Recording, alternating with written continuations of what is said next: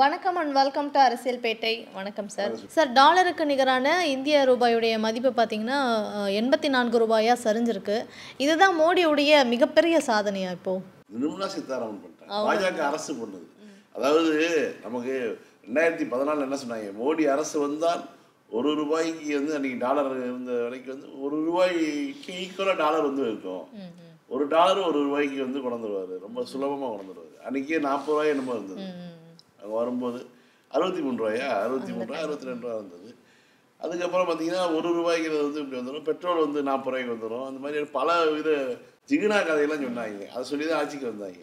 ஆனால் இன்றைக்கு இருக்கக்கூடிய நிலைமை என்ன? எண்பத்தி நாலு ரூபா. ஒரு டாலருக்கு வந்து எண்பத்தி நாலு ரூபாங்கிறது வந்து இந்திய வரலாற்றில் இந்தியாவுடைய சுதந்திரம் பெற்றதுக்கு பிறகான வரலாற்றில் மிக மோசமான வீழ்ச்சி பொருளாதார வீழ்ச்சி. ஒரு நாட்டில் ஏன் வந்து இவ்வளோ அளவுக்கு அதிகமாக தங்கம் கடத்திட்டு வரப்படுகிறது. நேற்றுக்கு கூட பார்த்தீங்கன்னா ஒரு பதினஞ்சு கோடி ரூபாய் மதிப்புள்ள தங்கத்தை வந்து பிடிச்சிருக்காங்க. தினமும் வந்து நூற்றுக்கணக்கான மக்க மக்கள் வந்து விமானம் ஏறி வெளிநாடு போய் இந்த குருவிகள்னு சொல்லக்கூடியவர்கள் தங்கத்தை அங்கேருந்து எடுத்துகிட்டு வந்து இங்கே விற்கிறாங்க பதுக்கி வந்து ரகசியமாக அது தங்க பிசிங்கிறாங்க தங்க பேஸ்ட்டுங்கிறாங்க தங்கத்தில் வந்து விதவிதமாக வந்து வழிகளில் கடத்திட்டு வந்து ஒரு நாட்டுக்குள்ளே விற்கிறாங்கன்னா அந்த நாட்டினுடைய வரி வருமானம் எவ்வளோ பெரிய அளவில் பாதிக்கும். ஏன் இங்கே தங்கத்துக்கு உரிய டிமாண்ட் இவ்வளோ டிமாண்ட் இருக்குது?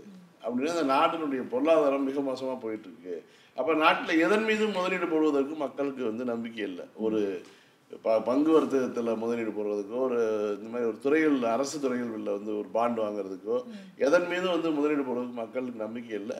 தங்களுடைய கை கையில் இருக்கக்கூடிய பணத்தை ஒரு சாலிடாக தங்கள் கையிலே வச்சுருக்க மாதிரியான விஷயம் பார்த்தீங்கன்னா தங்கம் மட்டும்தான். தங்க பாண்டுகள் கூட இருக்குது அரசு சார்பாகவோ தனியார் அந்த அதில் கூட வந்து முதலீடு பண்ண தயாராக இல்லை மக்கள்.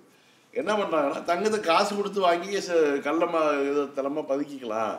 இப்படி ஏன்னா இந்த அரசு வந்து மிக மோசமான இதில் போயிட்டு இருக்குங்கிறத பு- புரிந்து கொண்ட ஒரு சூழல் தான் இங்கே இருக்குது.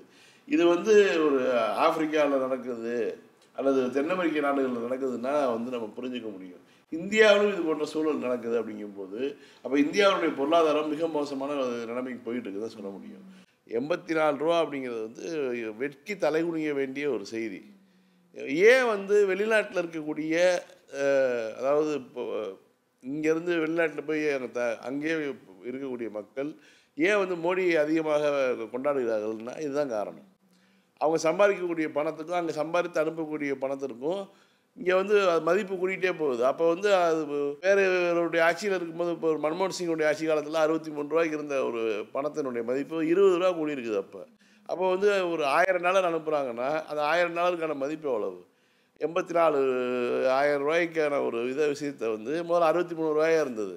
அறுபத்தி மூணாயிரம் டாலராக இருந்த விஷயத்தை வந்து எண்பத்தி நாலாயிரம் டாலராக எண்பத்தி நாலாயிரம் ரூபாயை மாற்றிக்கிட்டாருன்னு வச்சுங்களேன் அப்போ அவனுக்கு வந்து ஒரு இந்த ஆட்சி தானே வேணும்னு அவன் நினைப்பான். ஏன் மோடி அங்கே போனால் வந்து மக்கள் அது கூடுறாங்க அப்படிங்கிறதும் அவளை இப்போ புலம்பெயர்ந்த மக்கள் மத்தியில் வெளிநாட்டு மக்கள் வாழ் இந்தியர்கள் மத்தியில் வந்து மோடிக்கு ஆதரவுக்குன்னு சொல்லக்கூடிய செய்திகளுக்கும் உள்ள பின்னணி இதுதான். அதாவது மோடி வந்தால் ரூபாய்க்கு அதாவது டாலருக்கு எதிரான இந்திய ரூபாயினுடைய மதிப்பு ஒரு சரியும். சரிந்து இந்த மாதிரி கூடும்பொழுது நமக்கு வந்து இந்தியாவுக்கு அனுப்பக்கூடிய பணத்தினுடைய மதிப்பு கூடுதலாக இருக்கும். நம்ம இங்கே ஆயிரம் ரூபாய் சம்பாரிச்ச வழக்கமாக அனுப்புகிறோம் அதுவே வந்து எட்நூறுவா அனுப்புனா போதுங்கிற ஒரு சூழல் வந்து உருவாகுது. அப்படிங்கிற மாதிரியான ஒரு இதெல்லாம் இருக்குது. இது இதுக்கு பின்னாடி வந்து பார்த்தோம்னா இங்கே இந்த உள்நாட்டில் பொருளாதாரம் மிக மோசமாக போயிட்டுருக்குது தங்கத்தை கடத்தி வந்து வெளிநாட்டில் வந்து உள்நாட்டு மக்கள் வாங்கி வைக்கிற அளவுக்கு வந்து நிலைமை மோசமாக போயிட்டு இருக்குது பொதுவாக இது மாதிரியான இடத்துல வந்து தங்க பணம் வந்து போய் செட்டில் ஆகிறதுக்கு பார்த்தீங்களா? அது நாட்டினுடைய முதுகெலும்பை உடைக்கக்கூடிய விஷயம். இப்போ ஒருத்தர்கிட்ட பணம் ப- ஒரு ஒரு லட்ச ரூபா பணம் இருக்குது அப்படின்னா அந்த ஒரு லட்ச ரூபாய்க்கு தங்கம் வாங்கிட்டாருன்னா அந்த ஒரு லட்ச ரூபாய்க்கு ஒரு ஒன்றரை கிர- பவுன் தங்கம் வாங்கலாம்னு வச்சுக்கோங்க. அந்த அந்த ஒன்றரை பவுன் ஒன்றே முக்கால் பவுன் தங்கம் வாங்குறாருன்னா அது முதலீடு அது அவ்வளோதான் முடங்கிருச்சு. அதாவது ஒரு வீட்டில் ஒரு க கழுத்தில் ஒரு செயினாவோ கையில் ஒரு மோதிரமாவோ முடங்கி கிடக்குமே தவிர அது பணம் ரொட்டேஷனே ஆகாது. இந்த பணம் இப்படி வந்து டெட் இதாக வந்து போயிட்டு இருக்கும்போது அது நாட்டினுடைய பொருளாதாரம் மிகப்பெரிய அளவில் பாதிக்கும். ஆனால் தினமும் பார்த்தீங்கன்னா நூற்றுக்கணக்கான விமானங்களில் இந்தியா முழுக்க வந்து பார்த்திங்கன்னா தங்கங்கள் கொண்டு வரப்படுகிறது கடத்தி வரப்படுகிறது. ஒன்று ரெண்டில் பிடிக்கிறாங்க. இப்போ பிடிக்காமல் வெளியேறது எவ்வளோ விஷயங்கள் வெளியேறி வந்துகிட்டு இருக்கோம் அப்படிங்கிற ஒரு செய்தி தான் நம்ம பார்க்கணும். அப்போ அதுக்கான காரணம் இந்தியாவுடைய பொருளாதாரத்தை இந்த பாஜக ஆட்சிக்கு வந்ததுக்கு பிறகு நிர்வகிக்கக்கூடிய லட்சணம் தான் அது. சார் கலைஞர் நூற்றாண்டு மருத்துவமனையில் ஏற்கனவே நடந்த ஒரு சோக நிகழ்வை பற்றி நம்ம நிகழ்ச்சியை நம்ம பேசியிருந்தோம். டாக்டர் ஷஃபி அவர்களுமே வந்து பல விஷயங்கள் வந்து நம்ம கூட பகிர்ந்திருந்தாரு. அது தொடர்ந்து இன்றைக்கு காலையில் வந்து ஒரு முப்பத்தோரு வயது உள்ள ஒரு ஒருத்தர் வந்து இறந்துட்டாரு அப்படின்ற மாதிரி சிகிச்சை சரியாக கொடுக்கல. அதனால தான் இவர் இறந்துட்டாருன்ட்டு அவருடைய உறவினர்கள் எமோஷ்னலாக பேசுறது ஒரு பக்கம் வந்து பார்க்க முடியுது. ஆனால் இது இது இன்னொரு பக்கம் எப்படி பார்க்கலாம் அப்படின்னா மருத்துவ கட்டமைப்பு வந்து தமிழ்நாட்டில் மிக சிறப்பாக இருக்குது அப்படின்ட்டு மற்ற மாநிலங்களுமே வந்து சொல்லக்கூடிய நிலையில் பர்டிகுலராக இப்போ ஒரே மருத்துவமனைக்கு வந்து பேக் டு பேக் இந்த மாதிரியான ஒரு தவறான பேரை ஏற்படுத்தக்கூடிய சம்பவங்கள் நடக்கிறத நம்மளால யாரு பண்றாங்க செய்தியை வெளியில சொல்றா? ஊடகங்கள் ஊடகங்கள் இதை வெளிப்படுத்துறாங்க. அப்போ இ- இது எப்படி பார்க்கறது? உண்மையிலேயே வந்து இது இது நேச்சுரலா நடக்கக்கூடிய ஒரு விஷயமா பார்க்கறதா? இல்ல சித்தரிக்கப்படுது அப்படின்னு சொல்லலாமா? இது எப்படி எடுத்துக்கிறது எங்க வெளிப்படையா சொன்னா சித்தரிக்கப்படுதுங்க. குறிப்பாக இதனுடைய பங்கு வந்து தமிழ்நாட்டில் இயங்கக்கூடிய ஊடகங்களுடைய பங்கு மிக மோசமான ஒரு பங்காக இருக்குது. இப்படி ஒரு ஒரு மட்டமான ஒரு இது ஒரு ஊடக தன்மை வந்து இங்கே தான் நிலவுன்னு வச்சுக்கோங்க இதுக்கு பேர் வந்து ரொம்ப மோசமான ஒரு சொல் சொல்லதான் சொல்ல சொல்ல முடியும்னு குறிப்பாக ஒரு அரசு மருத்துவமனையாக இருக்கட்டும் ஒரு தனியார் மருத்துவமனையாக இருக்கட்டும் ஒரு நோயாளி இறக்கிறார் என்றால் அதுக்கு வந்து பல்வேறு காரணங்கள் இருக்கும். ஒரு சிகிச்சை அளித்து வந்த நோயாளி. ஆனால் ஒரு நோயாளியினுடைய உறவினர்கள் முற்றுகை நோயாளியினுடைய உறவினர்கள் போராட்டம் சிகிச்சை சரியாக அளிக்கப்படலைன்னா அது அரசு மருத்துவமனை. நீ தனியார் மருத்துவமனையில் நான் பணம் வாங்கிட்டு எனக்கு வந்து இந்த சூழலில் நீ கொண்டு வந்திருக்கீங்க இந்த இதில் வந்து இவ்வளோ ஊசி போடணும். இப்போ ஒரு ஸ்ட்ரோக் வந்து கொண்டு வந்திருக்காங்கன்னா ஸ்ட்ரோக்குக்கு வந்து உடனடியாக ஊசி போடணும். இரு இருபதாயிரரூவாய்க்கு ஊசி இருக்குது முப்பத்தையாயிரரூவாய்க்கு ஊசி இருக்குது. அல்லது ஒரு இதய ஒரு மாரடைப்பு வந்து கொண்டு வந்திருக்காங்கன்னா ஸ்டென்ட் வைக்கணும். ஸ்டென்ட் வைக்கிறதுல அவனுடைய பொருளாதார ரீதியாக வைக்கலாம். முப்பதாயிரரூவாய்க்கு ஸ்டென்ட் இருக்குது ஒன்றரை லட்ச ரூபாய்க்கு ஸ்டென்ட் இருக்குது இது இதில் வந்து எதை சொல்கிறீங்க? முதல்ல ஆஞ்சியோ பண்ணணும் ஆஞ்சியோ பண்ணால் குறைஞ்சது பதினஞ்சாயிரரூவாலேருந்து முப்பதாயிரரூவா வரைக்கும் ஆகும். மருத்துவமனையினுடைய இதை பொறுத்து இருக்குது. அப்போ ஆஞ்சியோ பண்ணி பார்ப்பாங்க. ஆஞ்சியோகிராமில் வந்து அடப்பு இருக்குது அப்படின்னா அது ஸ்டென்ட் வைக்கணும். ஸ்டென்ட் வந்து முப்பதாயிரரூவா ஆகுங்க. அப்படின்னு தனியார் மருத்துவமனையில் முன்கூட்டியே சொல்லுவாங்க. ஸ்டெண்ட்டு வைக்கிறதுக்கு அப்புறம் வந்து இதிலும் கூட வந்து ஒரு வாய்ப்பு இருக்குது திடீர்னு அந்த ஸ்டெண்ட்டு வச்சதுக்கு பிறகும் கூட அவர் உயிரிழப்பதற்கான வாய்ப்பு இருக்குது அப்படின்னு சொல்லி கையெழுத்து எல்லாத்தையும் வாங்கிட்டு தான் வந்து அந்த ப்ரொசீஜருக்குள்ளேயே போவாங்க. முதல்ல ஆஞ்சியோகிராமுங்கிற சோதனைக்கே வந்து அவருக்கு யார் வந்து மனைவியோ க அல்லது ம அப்பா அம்மாவோ யார் யார் இருக்காங்களோ அவருக்கு அது திருமணமானவர்னா அவர் மனைவி. அஹ் திருமணமாக விட்டார்னா அவர் அந்த பெற்றோர். இந்த மாதிரி வந்து அவங்களுக்கு யார் பொறுப்பாளரோ அவர்கிட்ட கையெழுத்து வாங்கிட்டு தான் இந்த ப்ரொசீஜரே ஸ்டார்ட் பண்ணுவாங்க. முதல்ல மருத்துவத்தில் என்ன நடக்குதுன்னு இந்த போராட்டம் பண்ணக்கூடியவர்கள் இப்போ அந்த உறவினர்கள்லாம் உணர்வு ரீதியாக அவங்க வந்து ஒரு குடும்பத்தில் ஒருத்தனையோ நண்பனையோ இழந்துட்டாங்கன்னு போராட்டம் பண்ணலாம்.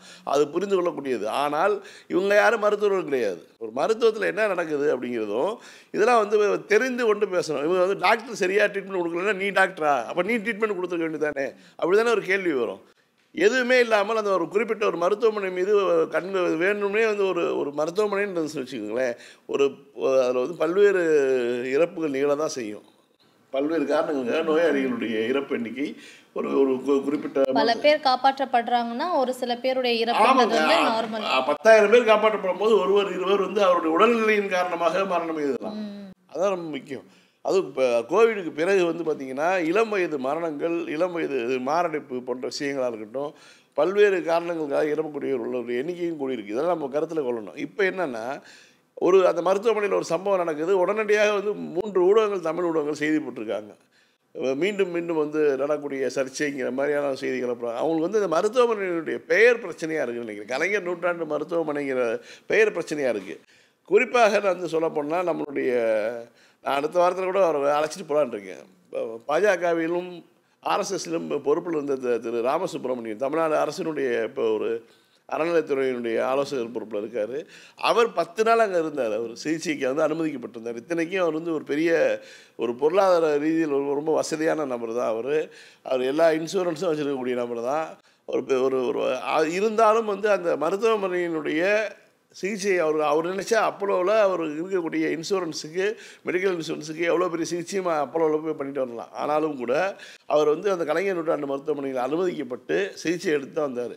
அந்த மருத்துவமனை உள்ளே போய் பாருங்கள் முதல்ல. அது அந்த மருத்துவமனை எவ்வளோ சிறப்பாக இருக்குன்னு பாருங்கள் அதாவது இந்த ஊடகங்கள் வந்து இவ்வளவு மோசமாக நடந்தவங்க எதிர்பார்க்கவே இல்லை. ரொம்ப ரொம்ப அதாவது தரம் கெட்ட ஊடகங்களாக வட இந்திய ஊடகங்கள் எவ்வளோ மோசமாக இருக்குதோ வட இந்தியாவில் இருக்க குஜராத்தில் இருக்கக்கூடிய ஊடகங்கள் எவ்வளோ மோசமாக இருக்குதோ அதை விட கீழாக ஒரு நியூ லோ காட்ட முடியுமா அப்படின்னு பார்த்தோம்னா இன்றைக்கி இருக்கக்கூடிய இங்கே இருக்கக்கூடிய சில ஊடகங்கள் அது செய்தி ஊடகங்கள் தான் பண்ணிகிட்டு இருக்காங்க.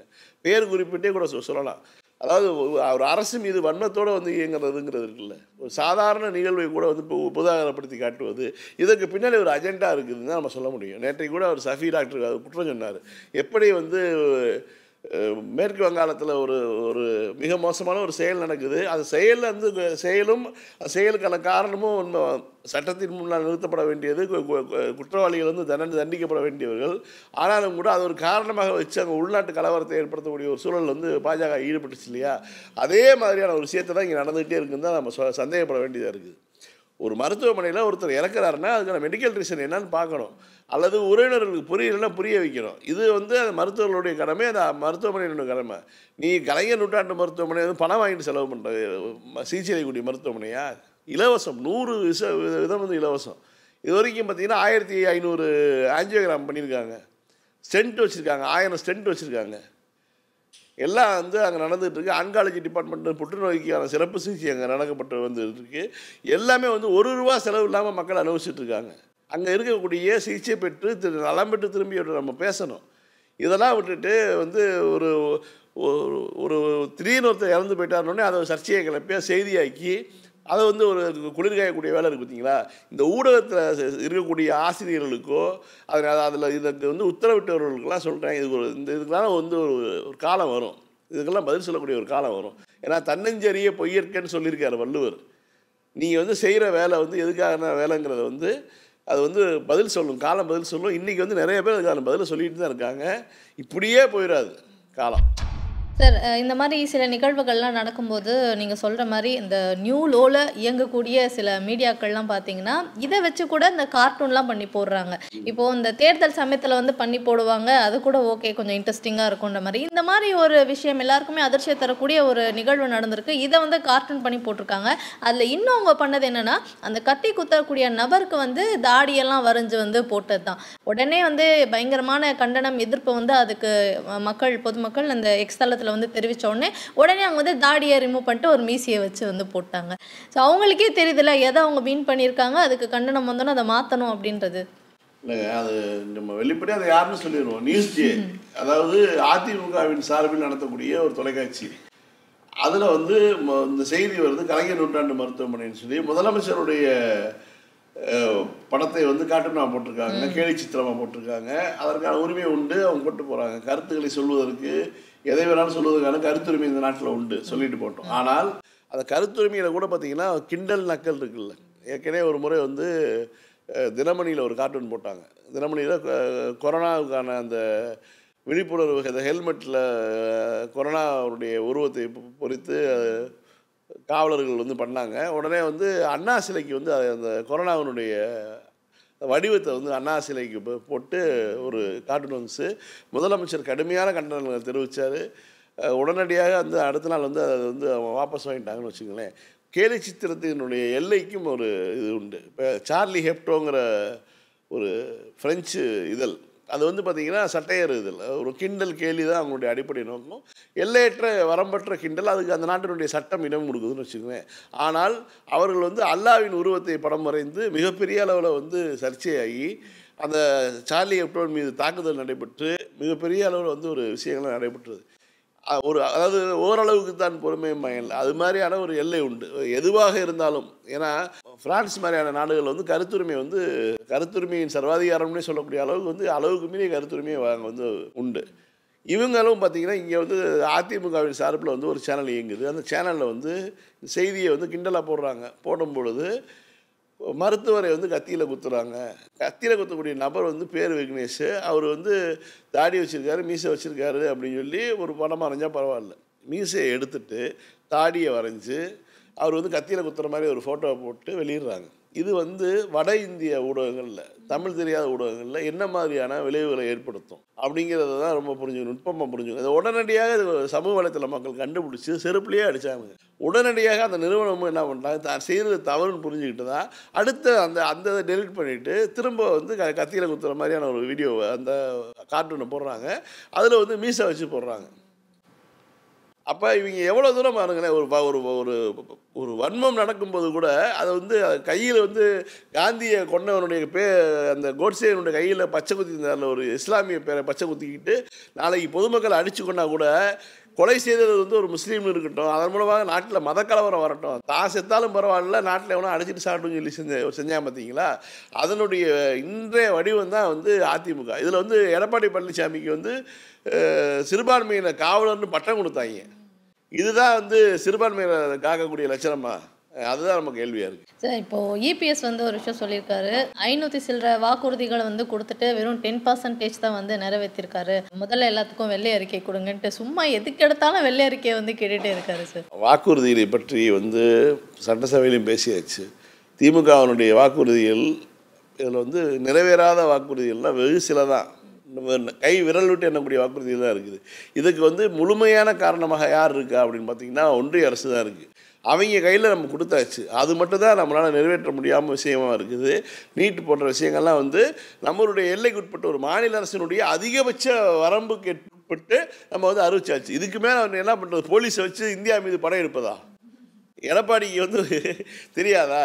இதுதான். திமுக ஒரு தன்னுடைய எது எதெல்லாம் வந்து மிக முக்கியமான வாக்குறுதியாக சொல்லியதோ அதை எல்லாமே செஞ்சு முடிச்சிருச்சு. அது இல்லாமலும் கூட சொல்லாதையும் செஞ்சுருக்காங்க. இவர் வந்து வெள்ளை அறிக்கை கருப்பு அறிக்கையெல்லாம் அவர் கேட்டுட்டு இருக்காரு நீங்கள் முதல்ல வந்து தாலிக்கு தங்கம் திட்டம்னு சொல்கிறாங்க அதுவே கொடுக்கல மூன்று வருஷம் நாலு வருஷமா இருந்த வரைக்கும். கல்யாணத்தை பண்ணி வச்சுட்டு பிள்ளை பிறந்துருச்சு. அதை முதலமைச்சர் சொன்னார். நாகரிகம் கருதி சில விஷயங்கள் நான் வெளியில் பேச முடியாதுன்னு சொன்னார். அந்த மாதிரிலாம் வந்து நடந்துச்சு இவங்க யார் யாருக்கு கல்யாணம் பண்ணி வச்சாங்க? அது வந்து எவ்வளோ புரட்சிகர திருமணம்லாம் வந்து அரசு பட்டியலில் இருக்குது. ஏன்னா ஏற்கனவே திருமணமாகி வாழ்ந்துட்டு இருக்கவங்களுக்குலாம் கூப்பிட்டு கல்யாணம் பண்ணி வச்சு தங்கம் தரங்கிற பேரில் பண்ணாங்க.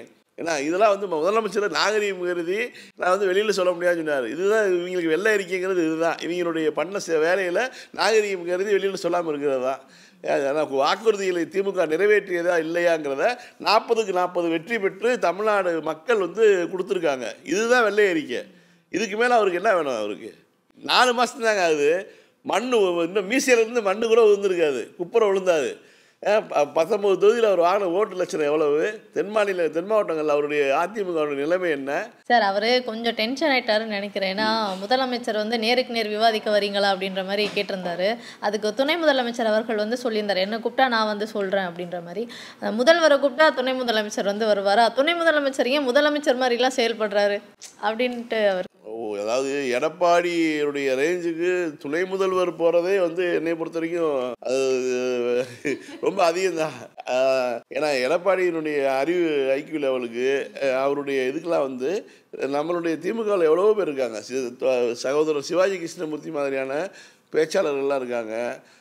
அவங்கெல்லாம் அவங்க பேசுவாங்க. அவங்க என்ன அவங்க விரல் விட்டு திமுகவுடைய திட்டங்களை நாள்தோறும் மக்கள்கிட்ட கொண்டு போய் சேர்க்குறாங்க. அவங்க போய் பேசுவாங்க. எடப்பாடிக்கு போதும். அந்த லெவலில் சார் பேச்சு போட்டியில நூத்தி தொண்ணூத்தி மூணு பேரை தேர்ந்தெடுத்து எடுத்திருக்காங்க சார். அவங்க கூட வந்து பேசுவாங்கன்னு நினைக்கிறேன் இதை பத்தி எல்லாத்தையும் இப்போ ஃப்ரெஷ்ஷாக எடுத்திருக்காங்க பேச வேண்டிய அந்த பட்டியலில் அவங்க கூட போய் பேசுவாங்கன்னு வச்சுக்கங்களேன். ஆனால் இவர் வந்து ஏன் வந்து துணை முதல்வர் வந்து முதலமைச்சரை போல செயல்படுகிறார்? முதலமைச்சர் துணை முதல்வர் வந்து எல்லை மீறி ரொம்ப போராட வைக்கிறாருன்னா துணை முதல்வர் எப்படி செயல்படணுங்கிற ஒரு எடுத்துக்காட்டு தான் இப்போ இருக்கக்கூடிய துணை முதல்வருடைய செயல்பாடு. இவர் ஒரு துணை முதல்வர் வச்சுருந்தார். பிடிச்சி வச்ச பிள்ளையாராட்டம் ஓபிஎஸ்னு ஒருத்தர் வச்சுருந்தார். துணை அந்த துணை முதல்வர் பதவி வாங்குறதுக்கு அவர் பண்ண எவ்வளோ தூரம் லாபி பண்ணி மோடி காலில் விழுந்து அமித்ஷா காலில் விழுந்து நட்டா காலில் விழுந்து ஆர்எஸ்எஸ்னுடைய கால்களில் விழுந்து வந்து ஓபிஎஸ் பதவி வாங்கினார். பதவி வாங்கிட்டு வந்து என்ன பண்ணார்? அவர் என்ன எதுவாக துணை முதலமைச்சர் எங்கேயாவது ஆய்வு போயிருக்காரா? துணை முதலமைச்சர் ஏதாவது பணி பண்ணியிருக்காரா? ம சென்னையில் மழை பெஞ்சா துணை முதலமைச்சர் வந்து கால்வாயினுடைய முகாத்துவரா பகுதியில் போய் நிற்கிறாரு என்ன நீங்கள் வந்து தனியார்கிட்ட இடம் வாங்கி கால்வாய் போ அதாவது இந்த சோழிங்கநல்லூர் போன்ற பகுதியில் கரெக்ட் ஆகக்கூடிய ரெயின் வாட்டரு போய் சேருவதற்கு அந்த கால்வாயிலுடைய அகலம் பத்தலைன்னு சொல்லி தனியார்கிட்ட வந்து ஒரு எண்பது ஏக்கர் நிலத்தை வந்து கைப்பற்றி அதை வந்து கால்வாயை அகலப்படுத்தி விட்டுருக்காங்க. இதெல்லாம் யார் செய்வா? இதை போய் வந்து துணை முதலமைச்சர் போய் ஸ்பாட்டில் நின்று பார்க்குறாரு வேலை நடக்குது. இதுதாங்க ஒரு ஒரு துணை முதலமைச்சர்னா அதனுடைய வேலை வந்து முதலமைச்சருடைய வேலையை பாதி இது முதலமைச்சர் வேலை கூட கிடை- கிடை- கிடையாதுன்னு வச்சுக்கோங்க. இது அதிகாரிகளுடைய வேலை. ஆனாலும் கூட வந்து ஸ்பாட்டில் போய் நின்று நாளைக்கு வருவேன்னு சொல்லிட்டு அடுத்த நாள் சொன்ன நேரத்துக்கு முன்னாடியே ஒரு மணி நேரத்துக்கு முன்னாடியே போய் நிற்கிறது இப்படி தான் வந்து ஒரு பெஞ்ச் மார்க்காக இருக்கார் அவர். இது அதெல்லாம் இதெல்லாம் வந்து வச்சுட்டு அவர் நீ அங்கே வச்சுருந்த துணை முதலமைச்சர் என்ன பண்ணார்? ஓபிஎஸ் என்ன பண்ணார்? அவருக்கு ஏதாவது நீங்கள் வந்து மரியாதை கொடுத்தீங்களா? அவர் மனுஷனாவது மதிச்சிங்களா? பாட்டில் விட்டு அடிச்சீங்க. வாட்டர் பாட்டில் விட்டு அடித்து அனுப்புனீங்க. இதான் நடந்துச்சு. சார் இந்த உக்ரைனுடைய அதிபர் ஜெலஸ்கி ஒரு முறை சொன்னார் பார்த்தீங்களா? மோடி நினச்சா வந்து போரை நிப்பாட்டலான்ட்டு. மணிப்பூரில் நடக்கிற போரையே மோடியால் வந்து நிப்பாட்ட முடியல. அவர் எந்த நம்பிக்கையில் அப்படி சொன்னாருன்னு தெரில இப்போ மணிப்பூரில் வந்து திரும்பவும் வந்து கலவரம் ரொம்ப தீவிரமாக போயிட்டு ஆயுதப்படை சிறப்பு அதிகார சட்டத்தையே வந்து அங்கே இப்போ கொண்டு வந்திருக்காங்க. இந்த போரையே அவரால் வந்து நிப்பாட்ட முடியலன்னும் போது எப்படி உலக நாடுகள் இவர் மேலே நம்பிக்கை வச்சுருக்காங்க? மணிப்பூரில் ஒரு உள்நாட்டு போர் தான் நடந்துகிட்டு இருக்குது. மணிப்பூரில் வந்து பார்த்திங்கன்னா கிட்டத்தட்ட ஆறாயிரத்துக்கும் மேற்பட்ட துப்பாக்கிகள் வந்து காணா போச்சு. அதில் வந்து எண்பது விழுக்காடு துப்பாக்கிகளை நாங்கள் மீட்டுட்டோம்னு சொன்னாங்க கணக்கு சொன்னாங்க. ஆனால் இன்னமும் பார்த்தீங்கன்னா மெய்த்தி இன மக்கள் மத்தியில் வந்து துப்பாக்கிகள் கிட்டத்தட்ட பத்தாயிரத்துக்கும் மேற்பட்ட துப்பாக்கிகள் இருக்குதுன்னு தகவல் வருது. லட்சக்கணக்கான குண்டுகள் கொண்டு போயிருக்காங்க. கையெறி குண்டுகள் வாக்கி டாக்கி புல்லட் ப்ரூஃப் கிட்டத்தட்ட ஒரு து- ஒரு துணை ராணுவ படைக்கான தேவைக்கு வந்து எல்லாமே வச்சுருக்காங்க. அப்படி வந்து எடுத்துகிட்டு போனதை ஒரு மோடி அரசினுடைய ஒரு இராணுவமோ அல்லது அந்த அந்த மா மாநிலத்தில் இருக்கக்கூடிய காவல்துறையோ எதுவுமே மீட்டெடுக்கலை. தொடர்ந்து பார்த்தீங்கன்னா அந்த குக்கி மக்கள் மீதான தாக்குதல் நடக்குது. பதிலுக்கு அவர்களும் துப்பாக்கி வந்து ஆரம்பிச்சிட்டாங்க. இப்போ வந்து ஒரு உள்நாட்டு போர் நடந்துட்டு இது வந்து வெறும் மணிப்பூருடைய பிரச்சனை மட்டும் கிடையாது. நான் திரும்ப சொல்கிறேன் இது வடகிழக்கு முழுக்க வந்து படார்னு ஒரு நாள் ஒரு பெருங்காற்றுத்தியாக பரவத்தான் போகுது. மிக மோசமான ஒரு நிலைமையில் இந்தியாவை முன்பே நிப்பாட்டி வச்சிருக்காரு மோடி. இதுதான் சொல்ல முடியும். இன்றைக்கி வந்து அமித்ஷா பேசிகிட்டு இருக்காரு. போய் பிர்சா முண்டாவை பற்றியும் அவருடைய அந்த தேர்தலுக்காக ஜார்க்கண்ட் தேர்தலுக்காக பேசிக்கிட்டு இருக்காரு. பிர்சா முண்டாவுக்கு வந்து பூணூல் போட்டு விட்ருக்காங்க பாஜகவினுடைய ஃபோட்டோவில் பிர்சா முண்டாங்கிறவர் வந்து ஒரு பழங்குடியின தலைவர் அவர். அவர் வந்து அவர் வேட்டை அவர் வேட்டையாடுவதற்காக அந்த தோல் அம்புகளை போடக்கூடிய தோல் பையை போட்டிருப்பார் இல்லையா? அதை வந்து பூணூல் ஆக்கி விட்டு அவர் வந்து பிர்சா முண்டா கடவுள் அப்படின்னு சொல்லி பேசிகிட்டு இருக்காங்க. பாஜக அவனுடைய வேலை திட்டம்லாம் இப்படி தான் இருக்கும். ஒரு பழங்குடி அதுவும் நம்ம டிஎன்ஏவை செக் பண்ணால் அவங்க டிஎன்ஏவும் நம்ம டிஎன்ஏவும் கிட்டத்தட்ட ஒரே மாதிரி தான் இருக்கும்னு வச்சுக்கங்களேன். அந்த அளவுக்கு தான் இருக்கும். அப்படியான தொடர்புள்ள நமக்கே வந்து கோபம் வருது. பிர்சா முண்டாங்க எதுக்குறா பூடல் போட்டு விட்றீங்க? இந்து மதத்துக்குள்ளேயே அனுமதிக்காதவர்கள் அவர்கள் நீங்கள் அதாவது இப்போ எப்படி வந்து பட்டியலின மக்களை இந்து மதத்துக்குள்ளே அனுமதிக்காமல் வெளியில் வச்சுருந்தீங்களோ அதே மாதிரி தான் வந்து பிர்சா முண்டா இருக்கக்கூடிய பழங்குடி மக்களையும் நீங்கள் வந்து இந்து மதத்துக்குள்ளே அனுமதிக்காமல் வெளியில் வச்சுருந்தீங்க. அவருக்கு பூணல் போட்டு விட்டு அவர் வந்து பிரிட்டிஷ்க்கு எதிராக இருந்தார் அப்படின்லாம் சொல்லி காசு சொல்லி பேசிகிட்டு இருக்காங்க. ஆனால் மணிப்பூரில் இவ்வளோ பிரச்சனை நடக்குது இல்லை நானூறுக்கும் மேற்பட்ட தேவாலயங்கள் வந்து எரிக்கப்பட்டன. சர்ச்சு எரிக்கப்பட்டுச்சு. இப்போ வரைக்கும் வந்து மோடி அரசு அங்கே என்ன நடவடிக்கை எடுத்துச்சு மீண்டும் மீண்டும் கலவரம் மீண்டும் மீண்டும் படுகொலைகள் மீண்டும் மீண்டும் எல்லாம் நடந்துகிட்டே தான் இருக்குது. இவர் வந்து போய் உக்ரைன் போகிற நிப்பாட்டுவாருன்னா எங்கே நிப்பாட்டுறது? இந்த ஓடுற ரயில ஒத்த கையில் நிப்பாட்டினோண்டா அப்படி அது மாதிரி வந்து நிப்பாட்ட வேண்டியதா பெண் சத்திரம் இதே நிகழ்ச்சியில் சந்திக்கலாம். மீண்டும் திங்கள் இரவு ஒன்பது முப்பது மணிக்கு அரசியல் பேட்டை நிகழ்ச்சியில் சந்திக்கலாம். நன்றி.